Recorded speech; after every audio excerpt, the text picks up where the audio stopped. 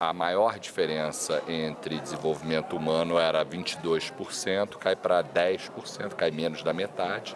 E o ponto a ser ressaltado é que está falando de desenvolvimento humano ativos. O grande salto foi o salto de educação, que nos permite antecipar melhoras futuras, tanto no nível dos indicadores como na sua disparidade. São Luís foi a região metropolitana que mais cresceu em educação, inclusive está em primeiro. É, o que explica isso?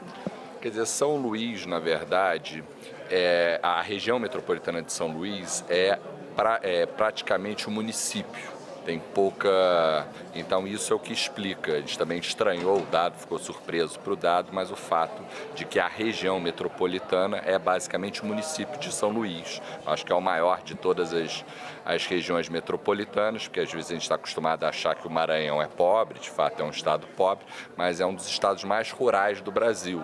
Agora, quando você vai na região metropolitana e vai para o município de São Luís, existe uma identificação de quase um para um entre eles. Não é um, um, um município da capital mais é, com melhores indicadores, mas na região metropolitana, como é quase sinônimo, acaba sendo, no, na caixa de educação. Ela é em renda e em longevidade também, São e, e lidera a educação. Não, não é estranho isso? Não, a gente também estranhou o resultado, mas checamos, checamos o resultado, batemos com outros resultados do IDH municipal, é basicamente por essa identificação entre região metropolitana e, é, e o município da capital. Agora, chamar a atenção que educação foi o indicador que mais avançou, a reta do mínimo foi a mais, mais inclinada e eu acho que esse é um dado bastante alvissareiro, não só para antecipar mudanças futuras, mas também no sentido que talvez seja o dado que mais diretamente incorpora o efeito de políticas públicas. Políticas de educação são mais diretas, que é frequência escola, etc. Ministro, o raciocínio então é que as cidades do entorno, que não são a capital, jogam para baixo as médias? Seria isso que são? Em geral. Em geral, o que acontece é que as, vamos dizer, as chamadas periferias metropolitanas, que são fora do município, do núcleo da capital, é, tem indicadores piores, mas o dado que chama atenção nos últimos anos é que o entorno teve avanços maiores, ou seja, a fotografia ainda é pior do entorno, mas o filme do entorno é um filme de progresso mais forte, no sentido que está diminuindo as disparidades entre pessoas. Agora, o que eu acho que é muito interessante desse trabalho, permite a cada morador da área metropolitana olhar a sua unidade de desenvolvimento humano. Quer dizer, convido a todos a acessar a, o, o, site da pesquisa e ver a, o, a, redondeza, como é, que, como é que é a expectativa de vida, como é que é a educação. São mais de 200 indicadores, então é um indicador para as pessoas se verem, verem seus vizinhos ali no, no na, na, pesquisa. Ministro, ali antes você falou que essa pesquisa poderia ser divulgada meses atrás, mas foi divulgada agora que passou a questão eleitoral. Estava se referindo àquele atraso da pesquisa de desigualdade de de renda do IPE, que foi divulgado há pouco, mas não foi divulgado durante a campanha eleitoral? Não, não estava numa referência direta a isso, mas é uma, uma mostra de, quer dizer, os indicadores brasileiros têm avançados, não só esses, como os indicadores da PNAD. Então, é, acho que essa pesquisa mostra o, como o Brasil está avançando e eu acho que é um momento adequado se discutir isso, até porque talvez a ênfase fosse nacional e a ênfase dessa pesquisa é a ênfase mais do que regional, uma ênfase local. Né? As pessoas olham é, o, o, o, o, seu mundo, né? A, o seu bairro. Eu acho que agora foi o melhor momento para divulgar, porque é, acho que os indicadores são de progresso muito claro, mas eu acho que é pela própria legislação eleitoral, eu acho que cabe você é, fazer essa reflexão, e principalmente dentro de uma instituição de Estado, após esse período estar tá, tá terminado. E uma pergunta, não, não são, esse relatório e a pesquisa do IPEA não são divergentes, assim? Não, Tem, não. São bases de dados diferentes, como que é? Não, não, são vários, vários dados, várias bases. Ah, no caso da PNAD, ela vai até 2000 e...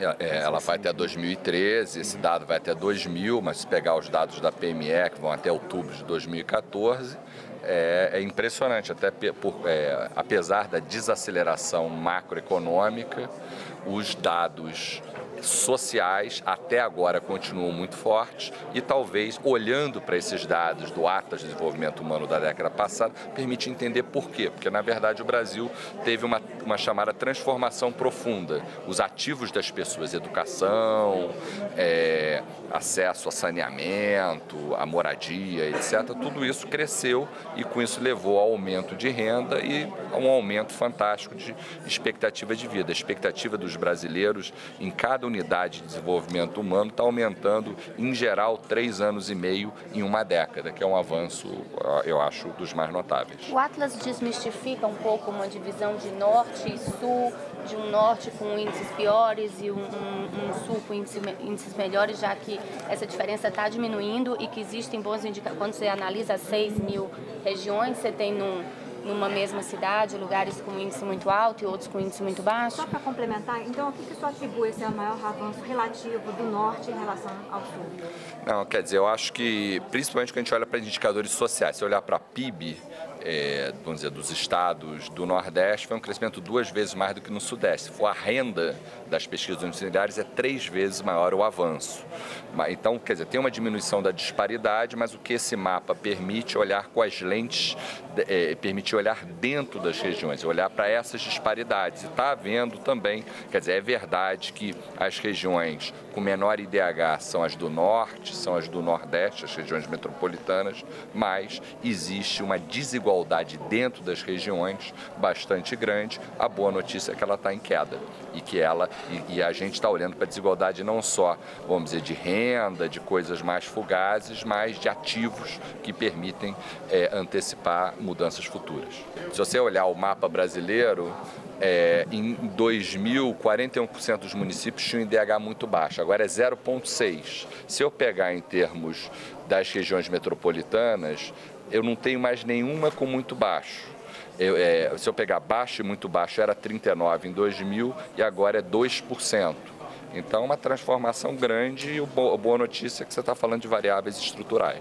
Convergência é, a, a, eu acho que é a, a principal é, constatação do relatório. Uma convergência já ocorrida, como o estudo mostra, mas também por é, ocorrer, dado que se mexeu em, por exemplo, educação, foi o grande avanço, foi a variável que mais avançou nas últimas décadas, desde o nível mais baixo, e é a, variável meio mais importante, pra, pra inclusive para a renda e para a expectativa de vida. Você pode comentar um pouquinho sobre o crescimento de Brasília também? Não, é, crescimento de Brasília eu não, eu não é, olhei tanto, quer dizer, Brasília foi para segundo lugar, teve um crescimento bastante forte. Eu, eu sou, vamos dizer, recém-chegado aqui, eu, é, me, me, me, chamou a atenção. Quer dizer, embora Brasília seja uma cidade cercada por áreas mais pobres, é, chamou muita atenção, por exemplo, se você compara o Paranoá com é, o Lago Sul existe uma diferença de 10 vezes a taxa de analfabetismo no Paranoá é maior do que o Lago Sul, ou seja, mesmo numa uma cidade onde eu, pelo menos, não enxergava tanta pobreza pela minha falta de conhecimento.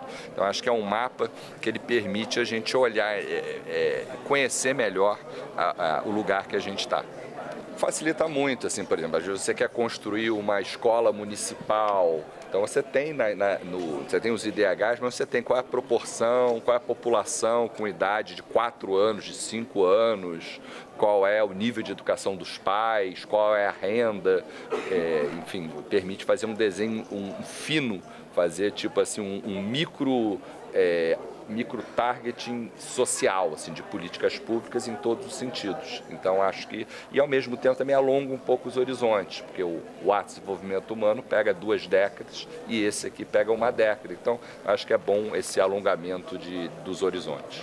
Ministro, as regiões metropolitanas que tinham menor índice cresceram. Mesmo assim, São Paulo continua sendo o primeiro, era em 2000, em 2000 continua sendo em 2010. Isso se deve à renda? Eu acredito que sim. É, e São Paulo chama atenção que é a maior, né? Então, é, a maior é a, é a melhor, continua sendo, dessas regiões metropolitanas. Mostra talvez algum ganho de escala, função do, do passado, do, do, do da indústria, das atividades produtivas. Sem dúvida, a renda é um, é um bom candidato.